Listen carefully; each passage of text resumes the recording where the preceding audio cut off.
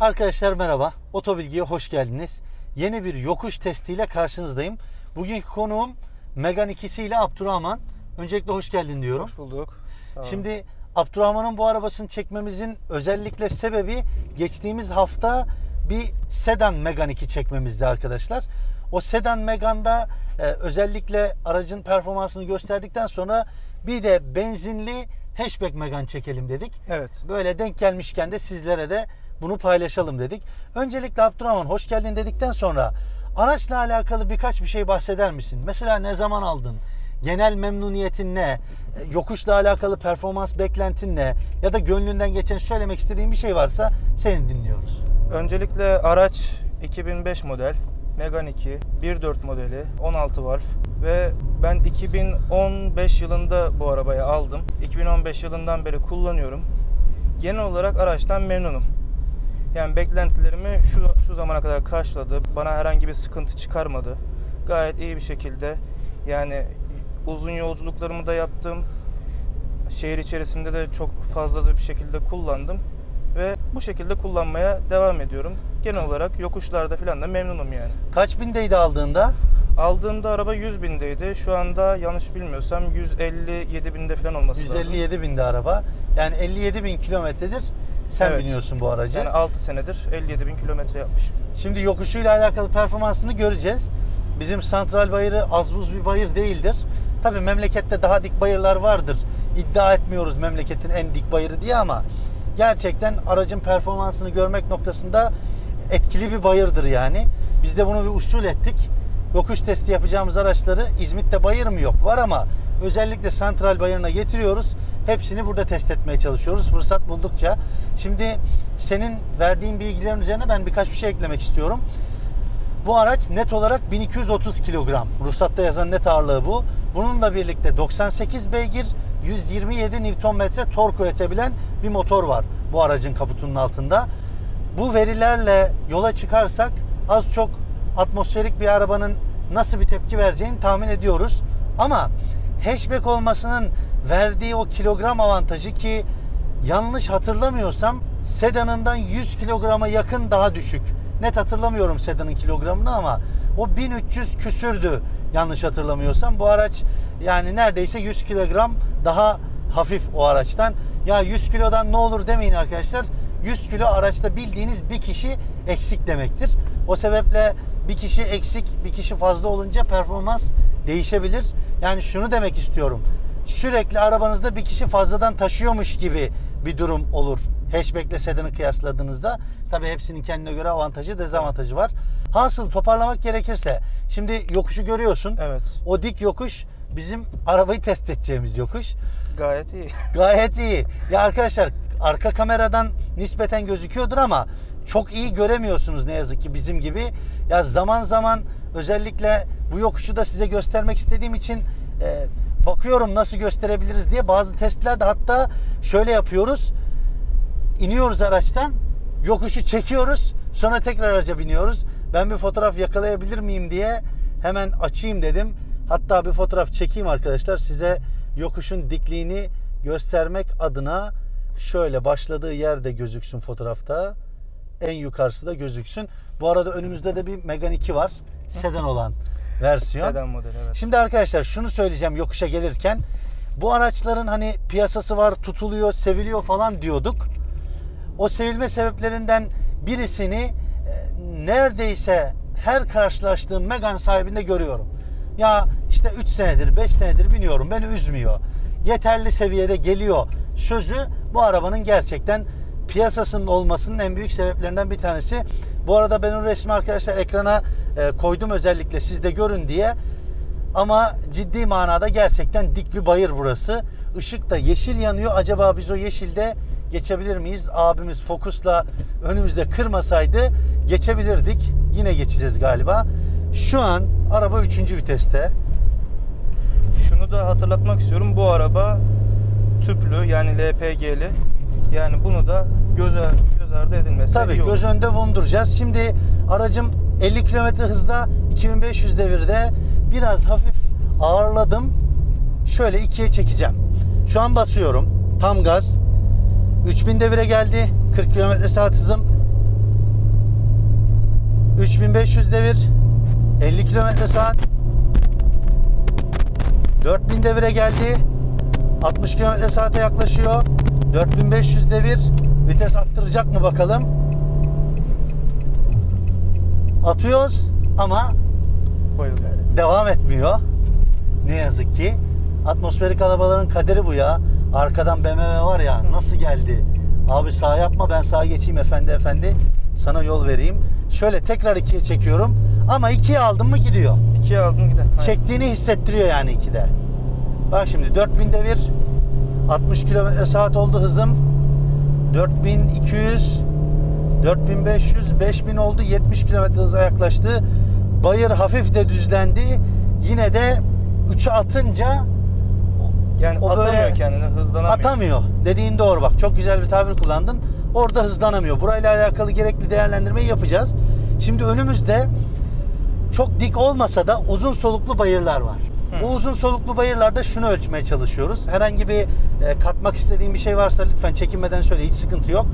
O bayırlarda da aynı oranda gaz verip devir aralığının nerelerde gezdiğini ve aracın aynı oranda gaz verdiğimiz halde hızlanma yapıp yapamadığını gözetliyoruz. O sebeple bu bayırların da ben hani fikir sağlamak noktasında bize fikir vereceğini düşünüyorum. Hep beraber görelim senle arkadaşlarla birlikte. Sen de fikirlerini söylersin. Araçla alakalı beklentini karşıladı mı ya da ne gibi durumlar yaşıyorsun bu şekilde onları söylersin. Yavaş yavaş da böyle sonlandırmış oluruz. Peki bir şey daha sorayım sana bu araç yani yokuş testiyle alakalı değil ama yine de merak ettiğim için arkadaşlar da öğrensin diye söylüyorum. Yüzde bir oran verirsen yüzde kaç sorunlu bir araçtır? Yani arıza çıkarma oranını bize söyleyecek olursan senin kullandığın süre içerisinde tabii ki. Yani ben bu arabayı 5-6 senedir kullanıyorum. 6 sene oldu. Hatta Nisan ayında almıştım. 2015 yılı e, Nisan ayında almıştım. Neredeyse 6 sene olmuş evet. Yani neredeyse 6 sene oldu. Yani tabi ufak tefek sıkıntılar çıkardı. Ama bunlar da yani kullanıma bağlı olarak olan sıkıntılar. Ee, bazı kronik sıkıntılardan mesela bu arabalardan bahsediyorlar işte şöyle bir kronik sıkıntıları var, böyle kronik sıkıntıları var. Ha mesela ne vardır? Yani yokuş testi yapıyoruz ama mesela şeyi söyleyebilirim. Yani tavanlarda mesela çökme oluyor. Benden önceki kullanan sahibinde mi oldu? Yani onda oldu ama neden dolayı oldu işte fazla güneşin altında mı kaldı veyahut da ıslak olarak da sildi işte ondan dolayı mı çökme oldu bunu bilemeyeceğim. Ha, ben yaptırdım bunu. Ee, çok güzel bir şekilde yani yaptırdığım yerde bana teslim etti. Bunun haricinde benim yani tek sıkıntım işte dediğiniz gibi bu yokuşlarda böyle arabayı Biraz kendine yani bayılması. bayılması ve motor sesini biraz fazla içeriye alıyor. Aynen öyle. Bunun haricinde yani benim öyle ya bana çok sıkıntı çıkartıyor bu araba diyeceğim bir şey yok. Şimdi bayırlara da başladık. Ben bu fikirler içinde söylediğim bu tecrübeler için de teşekkür ediyorum. Şimdi şu an araba 3000 devirde. Dördüncü viteste hızım 80 km saat. Yarım gaz diyebileceğim bir gazla devam ediyorum. Bakalım nasıl bir süreç bizi gözetleyecek. Nasıl bir süreç izleyeceğiz onu görelim beraber. Şu an yol hafif düzleşti. Burada biraz hızlanma olur diye gazdan ayağımı çekiyorum. Devirimi çünkü daha yükseltmek istemiyorum. Şu an 3000 devirde aynı yarım gazla yine yokuş tırmanmaya devam ediyoruz. Gaza aynı verdiğim halde 3200'lere yaklaştı devir saati. Hızım da 85 km saat oldu. Daha da devam ediyor. Şu an 3500'e yaklaştı. 90 kilometre saate de yaklaştı hızımız. Yani buradaki seyirde rahatsız edici bir şey olmuyor. Evet. Yani şu an çok güzel seyrediyor. Fark ediyorsan buralar da bayır. Evet. Yani her ne kadar gözükmüyor da olsa kameradan buralar gerçekten bayır arkadaşlar. Gittikçe de çıkıyorsunuz yani bayırdan. O sebeple buradaki seyri güzeldi. Yani herhangi bir rahatsızlık vermedi. Ama daha hızlı gitmek istiyorum derseniz gaz verdiğimi fark ettin değil mi? Kesinlikle. Şu an gazı kökledim. Tabii ki burada çok rahat hızlanıyor. Zaten şu an 3'te hızlanıyor. Düz yola da gelmiş olduk. 4'e atsaydım da bu seviyede bayılmazdı yani. Şimdi gel gelelim değerlendirmemize. Araçla alakalı ben tabii fikirlerimi söyleyeceğim. Ee, bizi biliyorsun. Biz ne varsa onu söyleriz. Evet. Ee, bu zamana kadar çok eşimiz dostumuzla araç çekmişizdir. Ama iyisine iyi, kötüsüne kötü deriz. Bir de biz şunu da yapmıyoruz. Özellikle yeri gelmişken söylüyorum arkadaşlar. Şimdi şu aracı ben 1.5 dizeliyle kıyaslayarak hareket edip değerlendirme yapsam şahsi olarak konuşuyorum. Bu doğru bir değerlendirme olmaz. Sebebi dizel bir aracın torkuyla bunun torkunun aynı olmaması. Tabi beygir gücü farkı da var doğal olarak. Hasılı şimdi bu aracın 98 beygirlik 127 Nm tork üretebilen 1.4 16 valflik atmosferik motoru göz önüne alınarak bakıldığında benim gözümde yeterli bir durumu var. Çünkü atmosferik bir araba biniyoruz. 2005 modeldi değil mi araç? Evet 2005. 2005 model atmosferik bir araç biniyoruz ve LPG'de az önce aldığımız performans. Evet. Şimdi yeni nesil araçlarda takılan LPG'lerde çok bir fark olmuyor ama bu model araçlarda genelde oluyor fark. Benzinde çıkmış olsak benzinde biraz daha fark eder. Şunu diyen arkadaşlar olabiliyor zaman zaman. Ya benzinde test etseydiniz diye. E, şunu söyleyeyim arkadaşlar. Şimdi aracın kullanıcısı açık açık soruyorum. Bu soruyu ilk defa soruyorum sana. Gönül rahatlığıyla cevaplayabilirsin. Bu aracı ya benzinde kullanayım deyip alıp benzinde kullandığın oluyor mu? Ne kadar sıklıkla olur? Yani bunu 2-3 ayda bir yaparım ben. Zaten e, sıralı sistemde olduğu için araba ilk çalıştığı zamanlar biliyorsunuz kendisi ilk başta benzinde kullanıyor. Daha sonradan bu benim de yaşadığım yerden de böyle dağlık bir alanda olduğu için bazen kendim yani direkt benzini alıp yani en azından araba kendini açsın işte te- kendini temizlesin düşüncesiyle böyle benzinde 2-3 ayda bir kullanırım yani. Eyvallah. Şimdi ben bu bayır çıkarken gazda çıkmamın sebebi işte bu. Aracın genel itibariyle gazda kullanılıyor olması. Size de gazda olan tepkisini aktarmaya çalışmamız. Yoksa şimdi biz bu arabayı benzine alıp basıp da çıkabiliriz. O zaman tepki farklı olur. Ha biz yine o zaman ne varsa onu söyleriz ama Tabii. ben gazda söylenmesinin daha doğru olduğunu düşündüğüm için o sebeple size gazdaki tepkilerini özellikle gösterdik. Bununla birlikte araçla alakalı şunu da söylememde fayda var. Bu tür araçlarda özellikle atmosferik olan araçlarda çok aşırı performans beklemek aracın doğasına aykırı. Yani çünkü bir turbo beslemesi yok Evet. atmosferik motor yapabileceği belli yani sınırı belli. O sınırın üstünde bir şey beklemek makul bir şey sayılmaz. O sebeple ben dediğim gibi hani santral bayırında verdiği 2 ile e, çekerek götürüyor. Bak 2'de kesinlikle bayılma yok. Yani ikinci viteste çekiyor bildiğin arabayı. Ama üçüncü vitese attığında yığılmıyor ama hafif duraksamaya başlayarak devamında bir e, aracın hızının düşmesi, devrinin düşmesi bizi karşılıyor. Dediğim gibi beni rahatsız etmedi. Bu tür bir araçtan beklenti budur. He şunu söyleyebilirim bunun peşine. Eğer araçtan ciddi performans istiyorsanız ya ben bayıra vurdum mu kazıyacak diyorsanız bu araç o araç değil. Değil tabii ki. Senin bayırla alakalı düşüncelerin neler? Ve yaptığımız testle alakalı iyi olsun kötü olsun. Hiç çekinmeden söyle. Ya biz de şimdi dışarıdan şöyle anlaşılıyor çekimlerde. Sanki biz buraya getirdiğimiz arkadaşlar anlaşıyor. Bak şundan başka bir şey söyleme ha sakın. Aslında böyle bir şey yok. Yani ne istersen onu söyleyebilirsin. Bizim için hiç sorun yok. Buyur. Yani ben e, dediğim gibi dağlık bir bölgede yaşadığım için bu bu kadar aslında yaşadığım yer böyle yokuşu yok. Yani gerçekten uzun soluklu yani ga- gayet dik bir yokuşu var Evet. yani buranın da. Açıkçası sen söylediğin zaman ya benim yaşa, yaşadığım yerdeki yokuş kadar olamaz falan diye düşünmüştüm. Ama bayağı fazlaymış yani. Çok ciddi bir yokuştur. Gerçekten fazla yani bayağı yüksekmiş. Tam da yani bi- biraz önce kullandı, kullandığın ikinci viteste araba gidiyor ama üçüncü vitesi aldığın zaman yavaş yavaş işte bayılmaya başlıyor. Yani ben de tam yani söylemek istediklerimi tam olarak söylediniz yani. Eyvallah. Bu da yani bir kullanıcı ağzından söylediğimiz şeyin e, doğru olduğunun tasdiki olmuş oldu. Tekrar ben sana teşekkür ediyorum. Samimiyetin için de teşekkür ediyorum.